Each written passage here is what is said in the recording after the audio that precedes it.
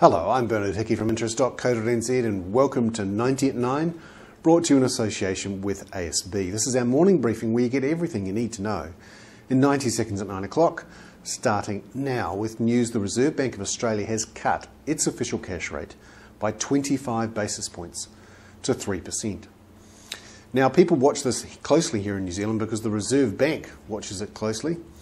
And the Reserve Bank is having to deal with a very poor business confidence report out yesterday from the New Zealand Institute of Economic Research, showing business confidence at its lowest levels since 1970.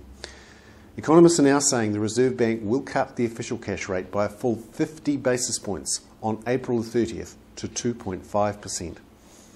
Meanwhile, on the New Zealand stock market, Freightways, the transport and courier company, has announced plans to raise $50 million to repay debt. We've seen quite a few of these share issues to repay debt in the last few weeks, and more are predicted. Meanwhile, overseas, the Dow is down 150 points after people are a little bit concerned about the earnings outlook. We're going to see the earnings reports coming in the next few days for the latest quarter. I'm Bernard Hickey. That was 90 at 9, brought to you in association with ASB.